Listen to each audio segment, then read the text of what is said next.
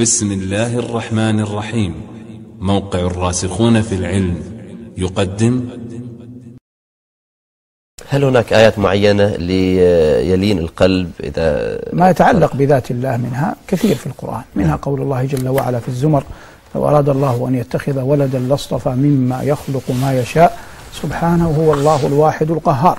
وقول الله تبارك وتعالى في الفرقان.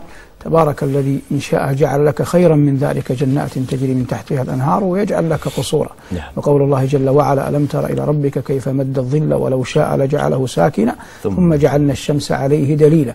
وغيرها من الآيات المذكورة في القرآن في الأعراف. كذلك في آيات قوله الحق يوم ينفخ في الصور في الأنعام في الأعراف في الفرقان في الزمر. هذه كلها فيها آيات الله نور السماوات والأرض مثل نوره كمشكاة فيها مصباح. هذا مما أثنى الله جل وعلا به على نفسه. وقول الله جل وعلا في آيات متتابعات في الشعراء إن في ذلك لآية وما كان أكثرهم مؤمنين وإن ربك لهو العزيز الرحيم.